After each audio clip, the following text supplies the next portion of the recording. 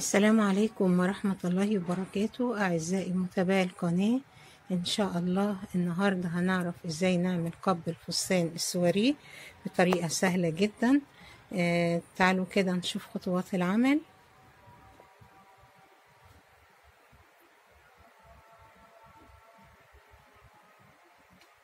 أول حاجة هيكون معانا بطرون ورق كده آه تكوني رسماه على الورق.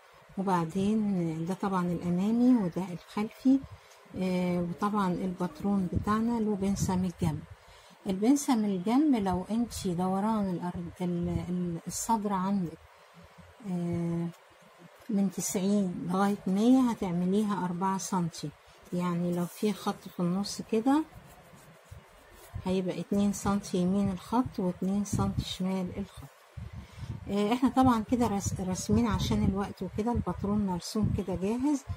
آه تعالوا نشوف هنشتغله إزاي. تعالوا نشوف هنحدد خط القب بناء على إيه.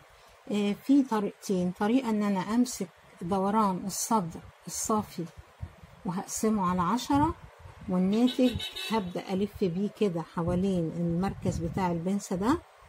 يعني يبقى زي البرجل كده يعمل لي دايرة. أو يعني لو أنا عايزاه متداري ومتغطي شوية يبقى هقسمه على عشرة. مكشوف يبقى هقسمه على الاتناشر تمام؟ فانا هقسم على عشرة. بالنسبة لن لو أنت عندك دوران الصدر مية وقسمتيه على عشرة هيديكي عشرة. فهتفضلي ماشية كده. بالمزوره كده. مثلا. تعملي كده نقط. وهكذا. أنا هعملها دلوقتي بالمقياس اللي معايا.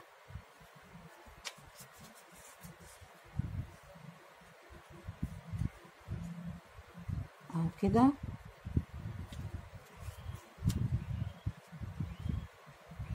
وبعدين حتى ممكن من غير حسبة ولا أي حاجة خد طول الضلع سيبي من هنا حوالي سنتي وخد طول الضلع ده وامشي بيه على طول.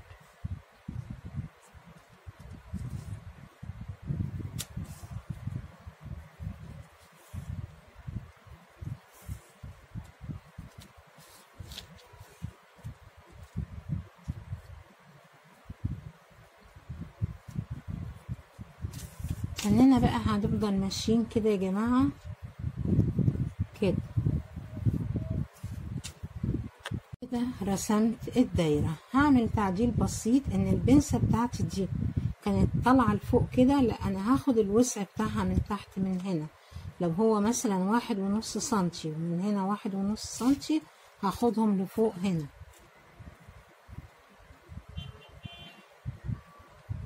فهتتعدل كده.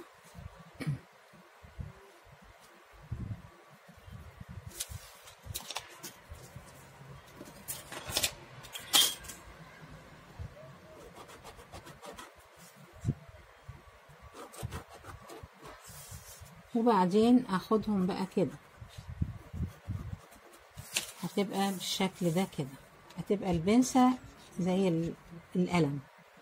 طيب من فوق من هنا هنعمل إيه؟ علشان القب يبقى ملموم من عند السطر هنطلع كده خط مستقيم من هنا. وهناخد سنتي يمين الخط وسنتي شمال الخط. كده. وكده تمام طيب في نقطة تانية. القب بتاعنا المفروض يعني هيرتفع الحردة بتاعته من فوق سنتي وهيضيق سنتي. يعني إحنا كده المقدار الراحة اللي إحنا كنا حاطينه أربعة سنتي وإحنا بنرسم لأ هنقللهم. فدي هنعملها وإحنا بنقص. تمام؟ إيه حردة الباط بطبعها بقى كده على شكل القب كده. يعني عايزة نوريكم كده.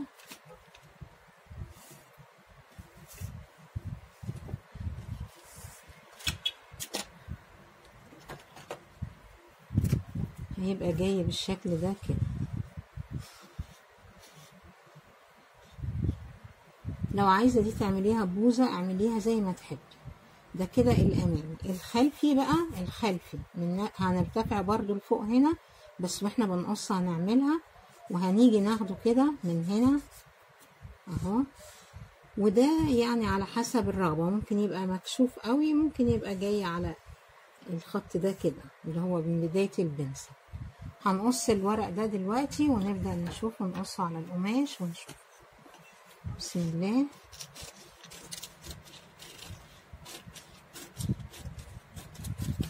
البنسة دي أنا هقفلها قبل ما أقص. بنسة الجنب. وهشيل البنسة دي خالص.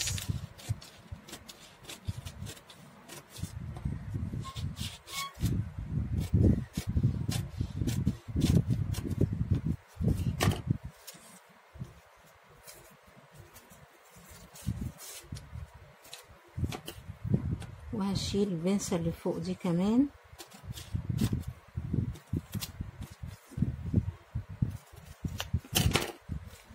هينتج عندي الشكل ده كده هحاول ان أنا آه البوز ده لازم يتشال يبقى مدور شوية كده.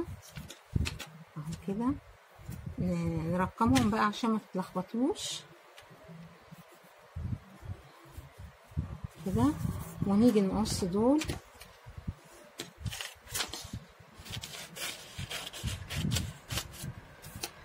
ونشيل برضو البنسة وممكن تبقى مقفولة.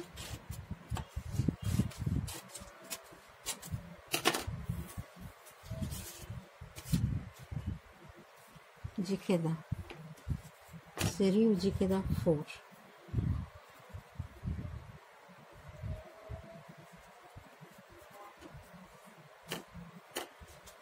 ممكن تعمل علامات تركيب كده يا جماعة علشان ما تتلخبطوش. كده خلاص كده الشكل القب كده اترسم. تعالوا نقصه على القماش.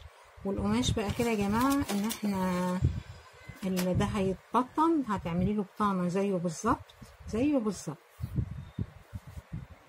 نيجي كده.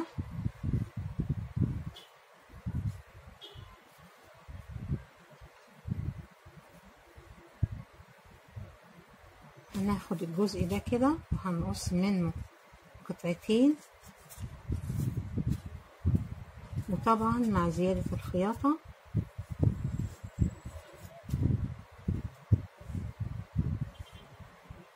قصينا القماش بتاعنا وقصينا البطانة زيهم بالظبط. آه ومرقمين طبعا علشان ما نتلخبطش.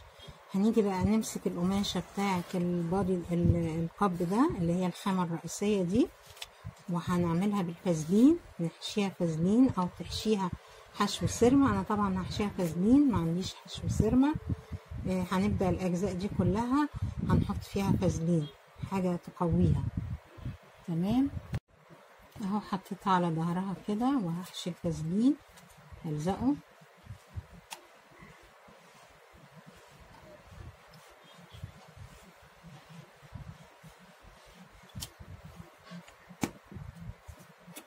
الأجزاء التانية.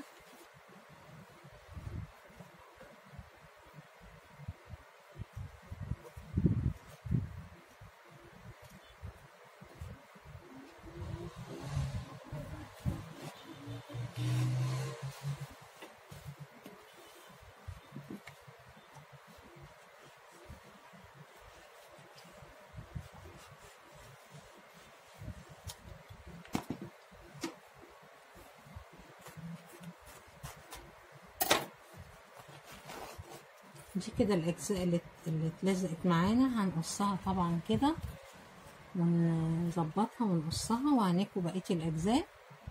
بعد ما حطيت فازلين هبدأ أوصل الأجزاء ببعضها ونخيط دول الأول الأمامي وبعدين نشبك الخلفي. تمام؟ هنخيط ده كده كده. ودي مع دي بنفس الطريقة. وصلت الأجزاء كلها ببعضها. هذا الظهر بتاعه. المفروض بقى إن إحنا نكوي ولو هحط البوش الاسفنج هحطه هنا هركبه في هنا في الأماكن دي كده ونشوفه كده على المانيكان قبل ما نعمله البطانة.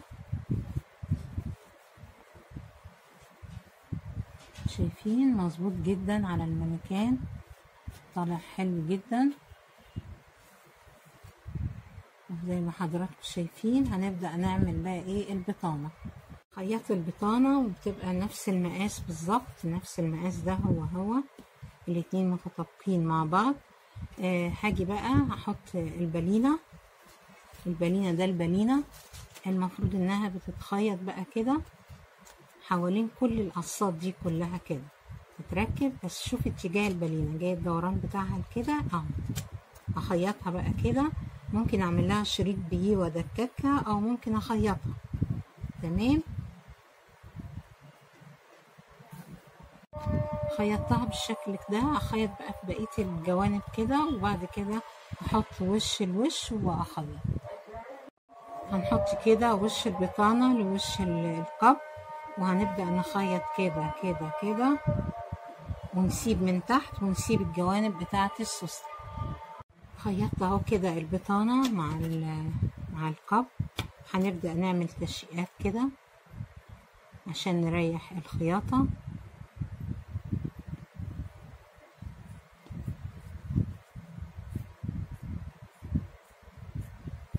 وبعدين نقلب وأي زيادة نشيلها.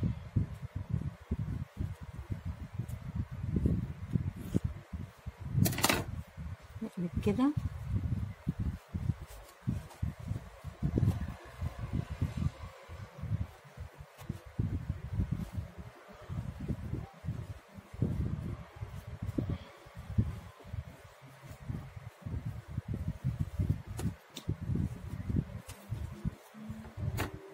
هنبدأ آه نعمل بنط خياطة على البطانة كده كده وبعدين نكوي. بقى تركيب السوستة آه هبقى أوريكم تركيبها إزاي وإن شاء الله الفيديو اللي بعد ده هوريكم إزاي نسحب الجونيه على التول ده كده الكب بعد ما خلص يا رب يعجبكم.